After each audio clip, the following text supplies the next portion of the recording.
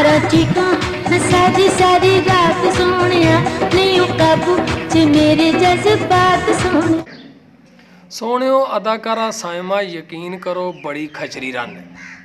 ਅੱਜ ਅਜਿਹਾ ਵਾਕਿਆ ਮੈਂ ਤੁਹਾਡਾ ਉਹਨਾਂ ਦਾ ਜਿਹੜਾ ਨਾ ਤੁਹਾਨੂੰ ਸੁਣਾਉਣ ਜਾ ਰਿਹਾ ਹਾਂ 1997 ਦਾ। ਕਿ ਐਸਾ ਉਹਨੇ ਕੰਮ ਕੀਤਾ, ਐਸਾ ਸੀਕ੍ਰੇਟ ਉਹਨੇ ਕੰਮ ਕੀਤਾ ਕਿ ਜਿਹੜਾ ਲੋਕਾਂ ਕੋਲੋਂ 10 ਸਾਲ ਤੱਕ ਛੁਪਾ ਕੇ ਰੱਖਿਆ। ਲੁਕਾ ਕੇ ਰੱਖਿਆ ਉਹਨੇ। ਯਕੀਨ ਕਰੋ ਕਿ ਤੁਸੀਂ ਹੈਰਾਨ ਰਹਿ ਜਾਓਗੇ ਕਿ ਇਸ ਤਰ੍ਹਾਂ ਦਾ ਵਾਕਈ ਕੋਈ ਬੰਦਾ ਕਰ ਸਕਦਾ ਫਿਰ ਇੰਡਸਟਰੀ ਦੀ ਕੋਈ ਅਦਾਕਾਰਾ ਵੀ ਇਸ ਤਰ੍ਹਾਂ ਕਰ ਸਕਦੀ ਸੁਣ ਕੇ ਤੁਹਾਨੂੰ ਯਕੀਨ ਕਰੋ ਮਜ਼ਾ ਆਏਗਾ ਲਓ ਫਿਰ ਅਗਰ ਚੈਨਲ ਤੇ ਨਵੇਂ ਹੋ ਤੇ ਸਬਸਕ੍ਰਾਈਬ ਕਰ ਲਵੋ ਵੇਖੋ ਪੰਜਾਬ ਨੂੰ ਹਾਂਜੀ ਤੇ ਕਮੈਂਟ ਬਾਕਸ ਵਿੱਚ ਆਪਣੀ رائے ਦਾ ਇਜ਼ਹਾਰ ਜ਼ਰੂਰ ਜਿਹੜਾ ਲਿਖਣਾ ਕਿ ਤੁਹਾਨੂੰ ਇਸ ਵਾਕਿਏ ਦਾ ਪਹਿਲੇ ਪਤਾ ਸੀ ਜਾਂ ਨਹੀਂ ਸੀ ਪਤਾ ਉਮੀਦ ਕਰਾਂਗਾ ਕਿ ਤੁਹਾਨੂੰ ਪਤਾ ਨਹੀਂ ਹੋਏਗਾ ਕਿਉਂਕਿ ਇਹ ਅੰਦਰ ਦੀ ਖਬਰ ਅੰਦਰ ਦਾ ਵਾਕਿਆ ਤੁਹਾਨੂੰ ਅਸੀਂ ਸੁਣਾਉਣ ਜਾ ਰਹੇ ਹਾਂ ਪਿਆਰਿਓ, ਇਹ 90 ਦੀ ਦਹਾਈ ਸੀ ਤੇ ਸਨ 96 ਸੀ 96 97 ਕਿ ਜਦੋਂ ਇੱਕ ਫਿਲਮ ਬਣ ਰਹੀ ਸੀ ਜੀ ਚੂੜੀਆਂ, ਜਿਹਦੇ ਵਿੱਚ ਹੀਰੋਨ ਦਾ ਰੋਲ ਕਰ ਰਹੀਆਂ ਸਨ ਸਾਇਮਾ ਬੇਗਮ, ਹੀਰੋ ਦਾ ਰੋਲ ਕਰ ਰਹੇ ਸਨ ਮੁਹੰਮਦ ਰਾਣਾ। ਇਹ ਫਿਲਮ ਜਿਹੜੀ ਹੈ ਨਾ, ਜਦੋਂ ਇਹ ਇਹਦੇ ਡਾਇਰੈਕਟਰ ਸਨ ਸੈਯਦ ਨੂਰ ਸਾਹਿਬ ਸ਼ਾਹਜੀਵਰੀ ਜਦੋਂ ਫਿਲਮ ਬਣ ਰਹੀ ਸੀ ਨਾ, ਉਸ ਤੋਂ ਪਹਿਲੇ ਸਾਇਮਾ ਜਿਹੜੀ ਹੈ ਨਾ, ਸੁਲਤਾਨ ਰਾਈ ਸਾਹਿਬ ਨਾਲ ਕਾਫੀ ਫਿਲਮਾਂ ਚ ਆ ਚੁੱਕੀ ਸੀ 90 ਦੀ ਸਟਾਰਟ ਦੀ ਦਹਾਈ ਵਿੱਚ। ਜਦੋਂ ਰਾਈ ਸਾਹਿਬ ਦੁਨੀਆ ਤੋਂ ਗਏ ਤਾਂ ਉਸ ਤੋਂ ਬਾਅਦ ਫਿਰ ਸ਼ਾਨ ਤੇ ਮੁਹੰਮਦ ਰਾਣਾ ਇਸ ਤਰ੍ਹਾਂ ਫਿਲਮਾਂ ਇਹਨਾਂ ਦੀਆਂ ਆਉਣ ਲੱਗ ਪਈਆਂ। ਤੇ ਡਾਇਰੈਕਟਰ ਸੈਯਦ ਨੂਰ ਨਾਲ ਇਹਨਾਂ ਦੀ ਆ ਜਿਹੜੀ ਚੂੜੀਆਂ ਫਿਲਮ ਹੈ ਨਾ, ਇਹ ਉਦੋਂ ਬਣ ਰਹੀ ਸੀ, ਸ਼ੂਟ ਹੋ ਰਹੀ ਸੀ। ਠੀਕ ਹੈ, ਸੈਯਦ ਨੂਰ ਨੇ ਜਨਾਬੇ, ਸੈਯਦ ਨੂਰ ਇਹਨਾਂ ਦੇ ਹੁਸਨ ਤੇ ਜਿਹੜੇ ਨੇ ਫਿਦਾ ਹੋ ਗਏ ਸਨ।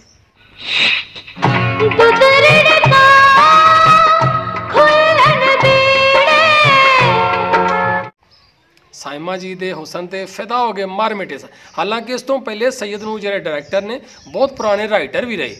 ਸਟਾਰਟ ਤੇ ਫਿਲਮਾਂ ਵਿੱਚ ਫਿਲਮਾਂ ਹੀ ਲਿਖਦੇ ਹੁੰਦੇ ਸਨ। ਡਾਇਰੈਕਟਰ ਤੇ ਬਾਅਦ ਚ ਆ ਕੇ ਬਣੇ।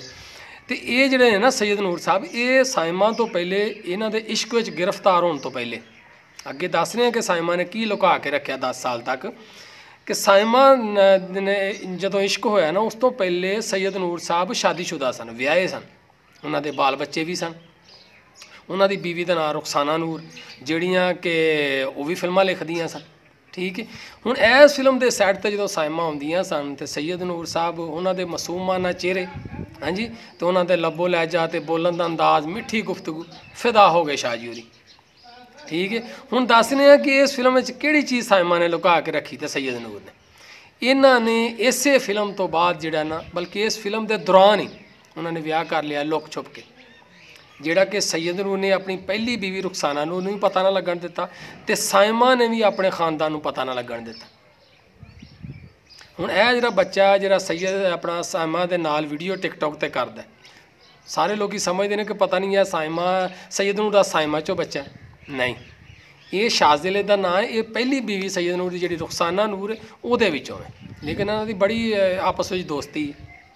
ਸੈਯਦ ਨੂਰ ਸਾਹਿਬ ਖੁਦ ਪਿਛਲੇ ਦਿਨੋਂ ਅੱਜ ਚੰਦ ਦਿਨ ਹੋਏ ਨੇ ਇੱਕ ਇੰਟਰਵਿਊ ਉਹਨਾਂ ਦਾ ਆਇਆ ਜੀਐਨਐਨ ਪ੍ਰੋਗਰਾਮ ਆਪਣਾ ਚੈਨਲ ਤੇ।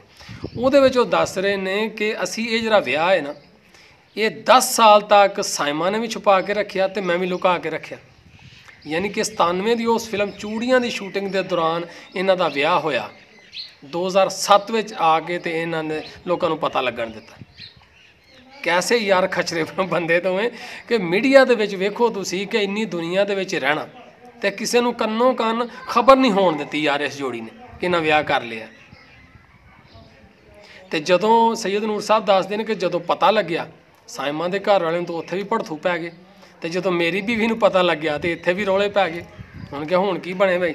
ਲੇਕਿਨ ਨੂਰ ਸਾਹਿਬ ਦੱਸਦੇ ਨੇ ਕਿ ਫਿਰ ਇਹ ਸਾਡੀ ਮੁਹੱਬਤ ਜਿਹੜੀ ਹੈ ਨਾ ਜਿੱਤ ਗਈ ਤੇ ਘਰ ਦੋਨਾਂ ਦੇ ਘਰ ਵਾਲੇ ਜਿਹੜੇ ਨੇ ਉਹ ਮੰਨ ਕੇ ਹਾਰ ਗਏ ਕਿਉਂਕਿ ਸੋਹਣਿਓ ਸੱਚਾ ਇਸ਼ਕ ਜਿਹੜਾ, ਉਹਦੀ ਹਮੇਸ਼ਾ ਹੀ ਜੀਤ ਹੁੰਦੀ ਹੈ। ਹਾਂਜੀ, ਤੇ ਬਹੁਤ ਪਿਆਰੀ ਜੋੜੀ ਹੈ।